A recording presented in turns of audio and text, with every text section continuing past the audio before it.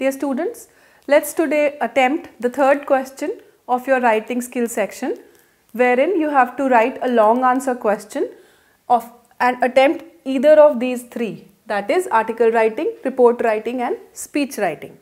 We are doing them together so that you are able to understand the differences between them. Article writing is an expression of one's thoughts. You can take liberty here, you can express yourself very well, but you should be having a way of logical and coherent writing. Also, write meaningful paragraphs, make paragraphs and they should be meaningful. You have need to have some creativity, good vocabulary, good knowledge and the ability to organize your ideas properly. The format is very simple. There is a heading and then in the para 1, the first paragraph, you have to introduce the topic. In the second and third paragraph, you have to build your argument, give causes and effects, the current affair situation or whatever you are talking about. And para 4th is the conclusion. There should be a strong introduction and strong conclusion. Remember, the title should be catchy. It should be able to attract attention of the reader and keep it there. Also, striking opening sentences are needed. You may use a question, um, an exclamation sentence or an amazing fact.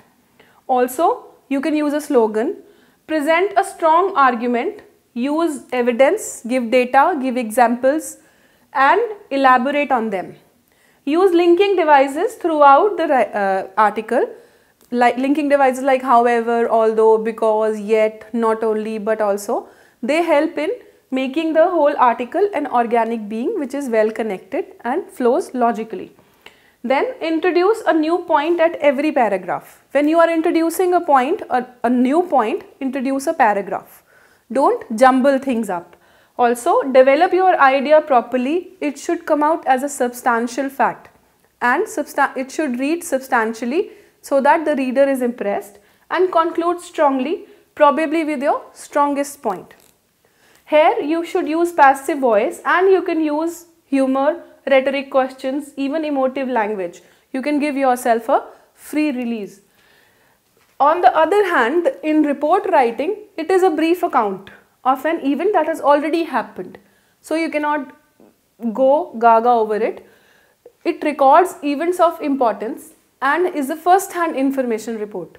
It is less formal but it includes one's ideas and opinions and impressions of the incident. The format is very simple. You have to head, it with report writing, give the suitable title and by whom it is written. Left hand side write the date and then the content. Here also remember you have to specifically mention the place, date and time of the event that you are recording, reporting Include information from people who were affected or people who were around the area. Name the reporter properly. You have to give the name who is writing the report. Also give it a very suitable title, a simple suitable title, no imagination. Write in reported speech and use passive expression. Also develop your ideas, opinions and describe them properly. Use descriptive language and conclude properly. Speech writing is another way of expressing your views but remember these are views uh, expressed before the public. So you have to be more direct, less formal and matter of fact. Also I'll give you an idea that while you're writing this speech, imagine that you are speaking in front of an audience. That will help you to remain, uh, to make the language better.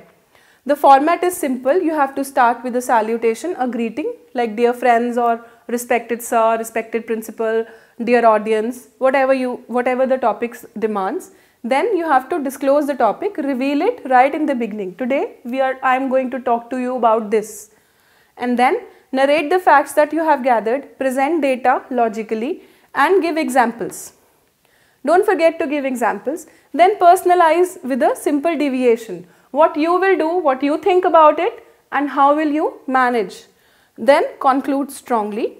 Remember you should use your imagination, you should sound spontaneous and you should be able to engage with the audience. That's all.